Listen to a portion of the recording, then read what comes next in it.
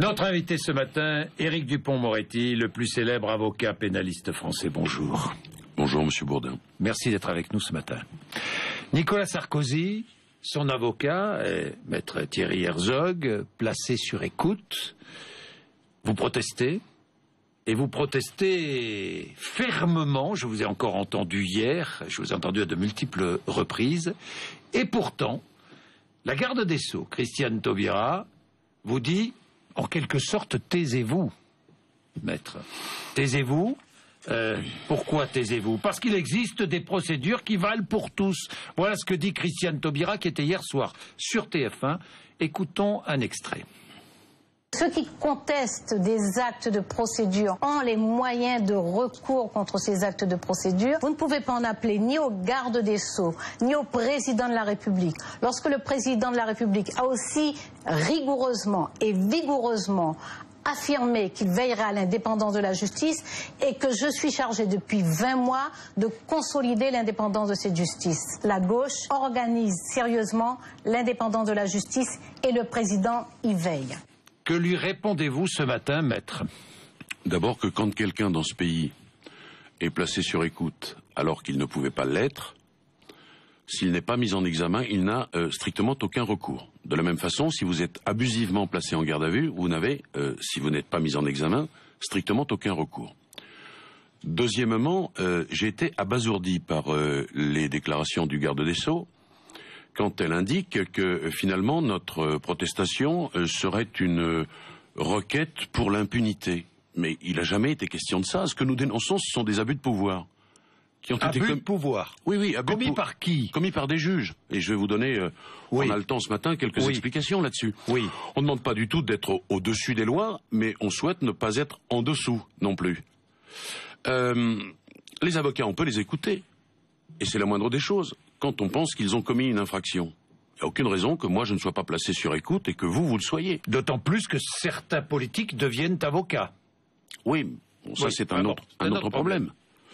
En revanche, oui. il y a, euh, en ce qui concerne, euh, j'allais dire, cette affaire, un mm. certain nombre euh, d'attaques contre le secret professionnel et la profession dit stop, tout simplement. Donc c'est n'est mm. pas l'impunité, c'est le respect d'une garantie essentielle qui est le secret professionnel.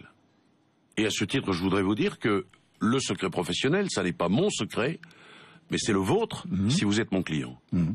C'est le mien.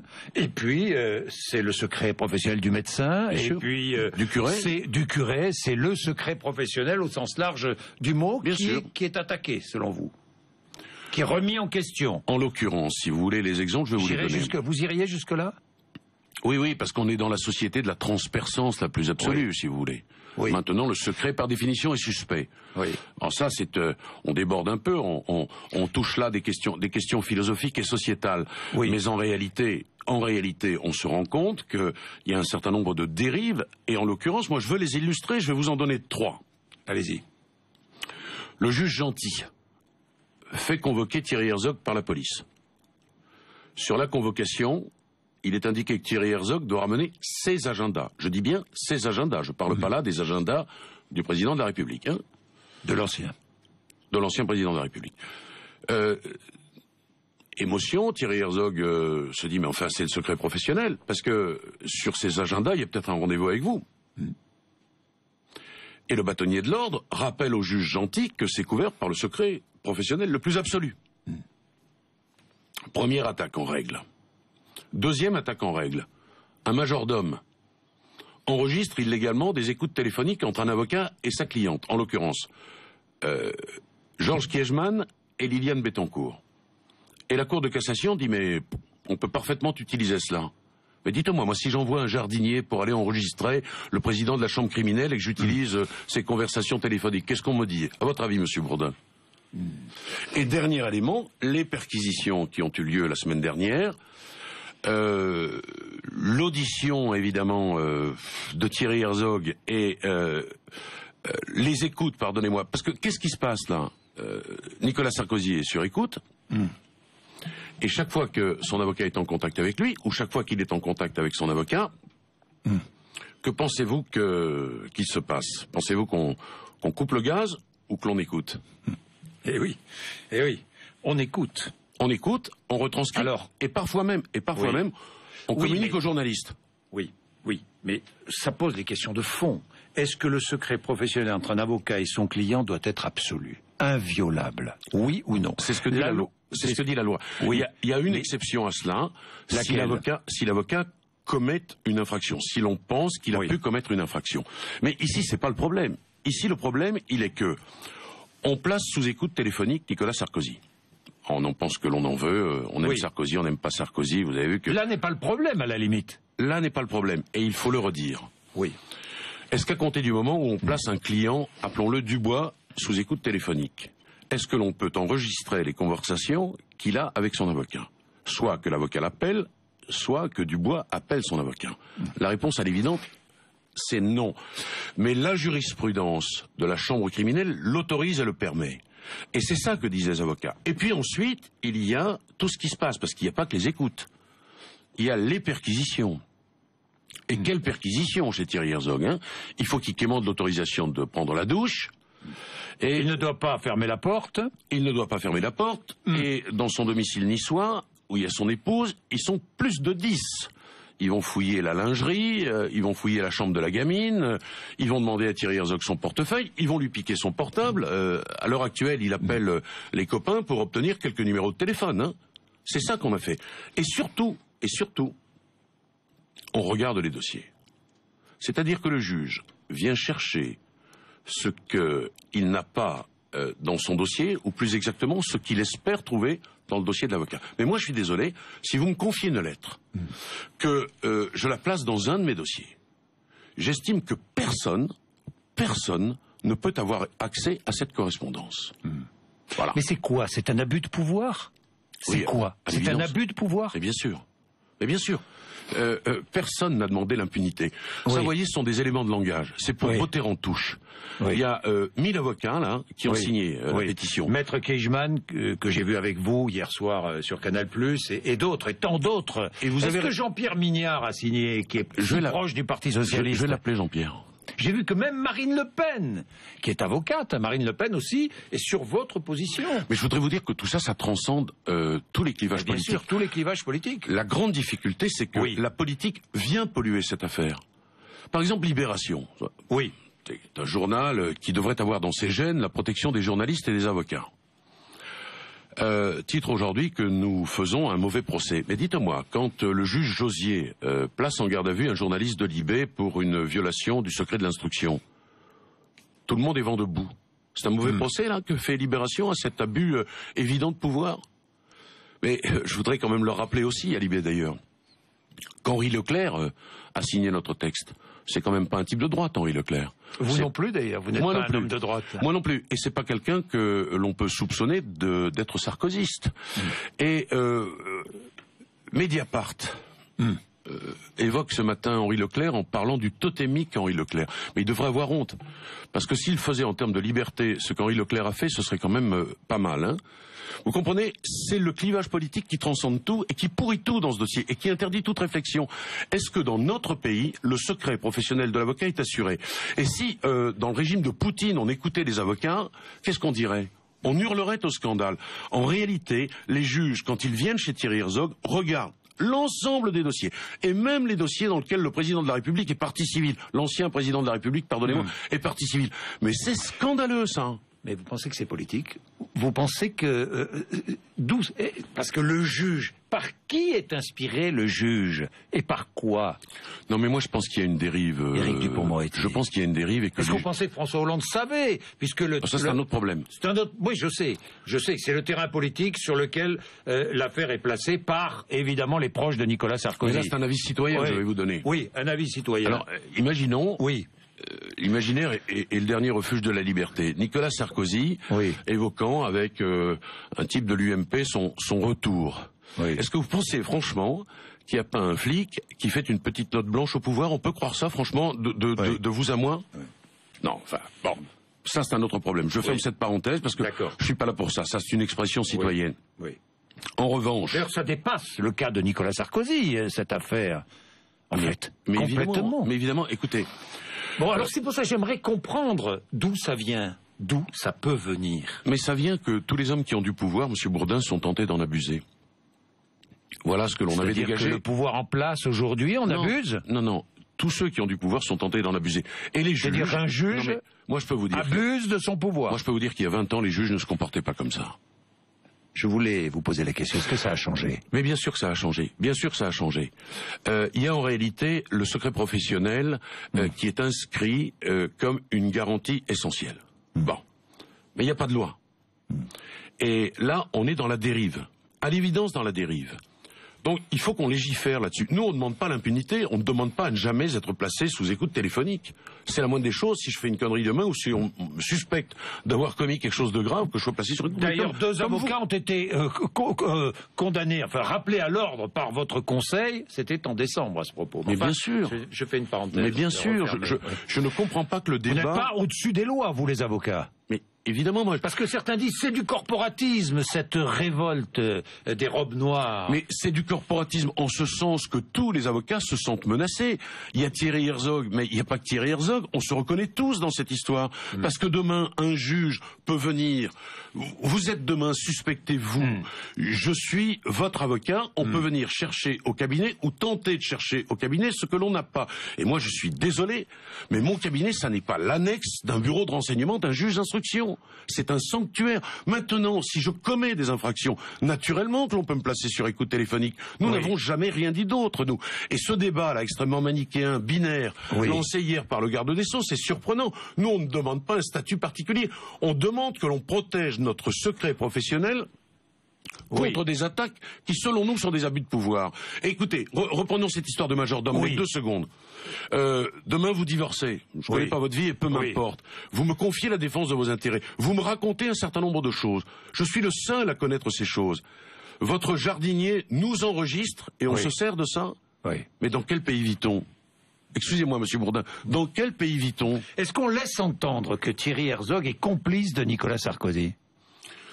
Mais à l'origine, il y a Nicolas Sarkozy qui est mis sous écoute téléphonique durant 11 mois. Oui. Alors là aussi, ça pose quelques problèmes euh, en termes de citoyenneté. Hein. Bon, est-ce qu'un juge euh, peut euh, C'est quoi l'histoire? C'est l'histoire de la Libye, c'est-à-dire que ça oui. démarre sur un document diffusé par Mediapart.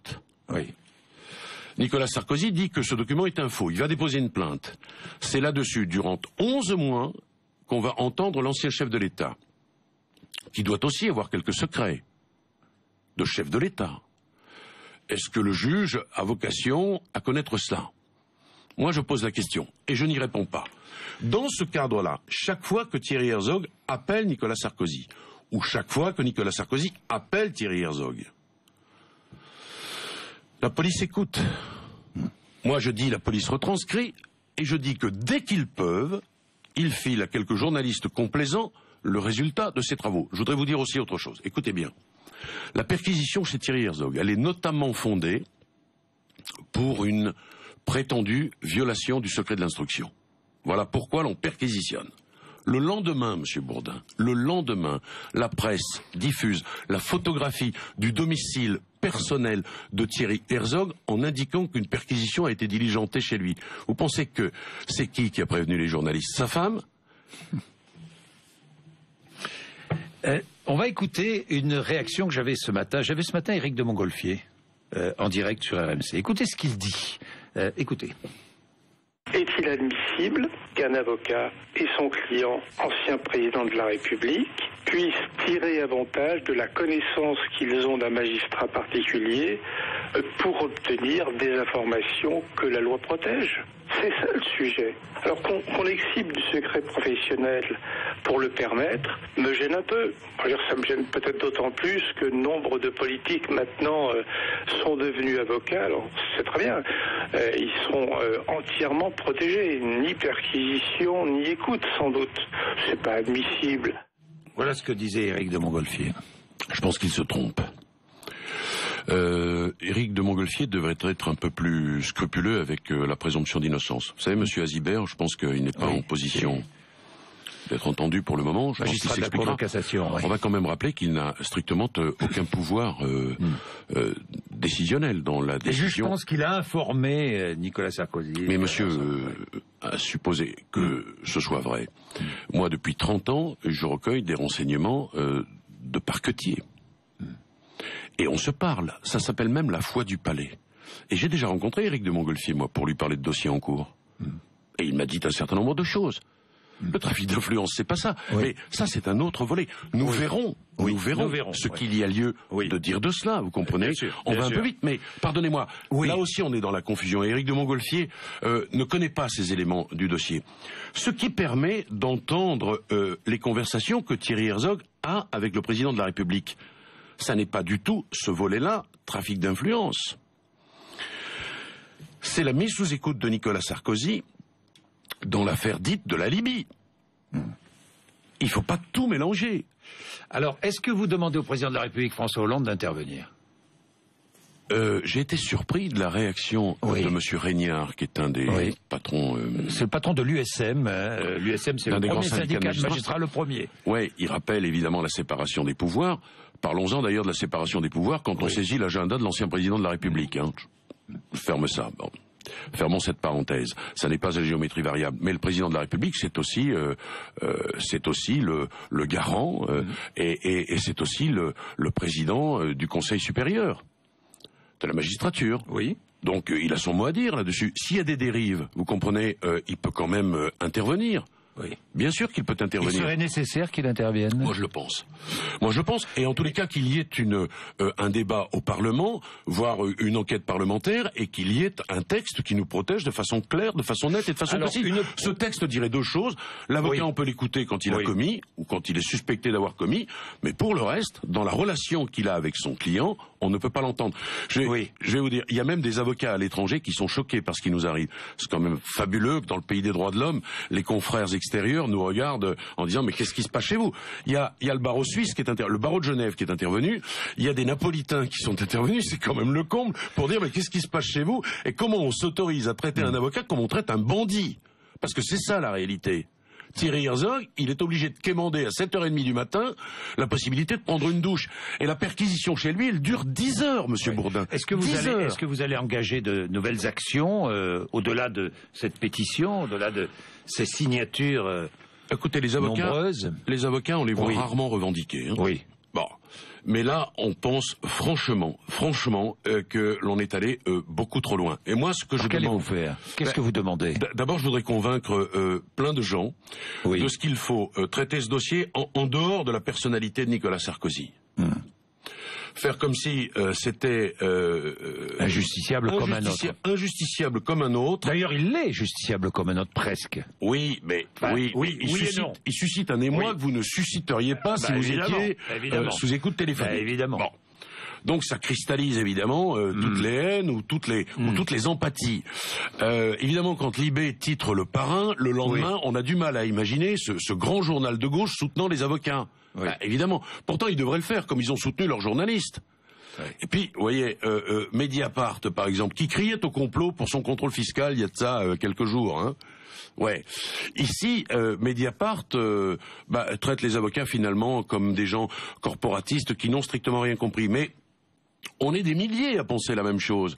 Il ne faut pas que le garde des Sceaux pense que en, éteignant ou en tentant d'éteindre l'incendie mm. comme elle l'a fait hier en disant mais les avocats veulent des privilèges, on veut pas de privilèges nous, mais on veut pas être traité. Est-ce que la loi doit être changée? Eh bien, sûr, bien sûr, puisque vous soutenez la proposition de loi de, Georges Fenech. Je, ne connais pas les détails, mais je soutiens une initiative de cette nature. Le principe, c'est la garantie du respect de notre secret. La réalité, c'est que les juges ne respectent pas le secret. Enfin, les juges certains juges. Oui. oui, On va, on va pas mettre tout le monde dans le même sac, on va pas faire d'amalgame. Il y a certains juges qui sont de véritables inquisiteurs.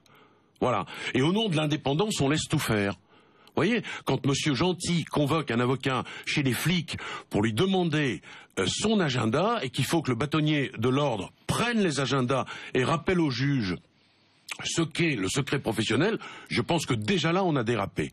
Il y a une succession de choses de cette nature dans ce dossier-là. Est-ce que c'est la personnalité de Nicolas Sarkozy qui en fout J'en sais rien, je veux pas le savoir. Moi, je suis effectivement derrière Thierry Herzog pas parce que c'est un ami, pas parce que c'est Thierry Herzog comme euh, euh, l'indique aujourd'hui le journal Libération, mais parce que c'est un avocat et qu'il ne, ne devait pas être écouté dans ces conditions et que l'on ne devait pas fouiller dans ses dossiers, dans son portable, dans ses agendas comme on l'a fait. Voilà, c'est pas plus compliqué que ça. Merci maître Éric Dupont-Moretti, notre invité ce matin sur RMC BFM TV 8h56.